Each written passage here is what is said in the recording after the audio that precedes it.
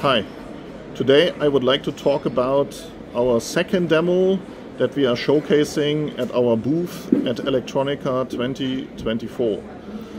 What's unique about it is that we have ported our Metirionic advanced ranging stack to this little module. So all is embedded uh, into this device here and all the signal processing is done on this little module.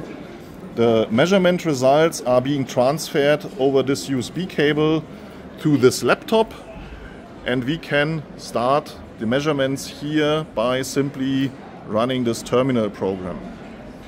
Now this little module is performing a distance measurement, a Bluetooth channel sounding procedure to these two other devices that these both that these gentlemen are holding here.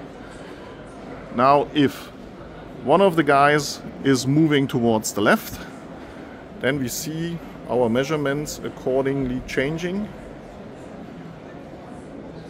Now the second device is moving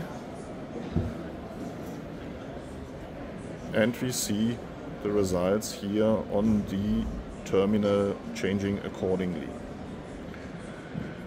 Thank you very much.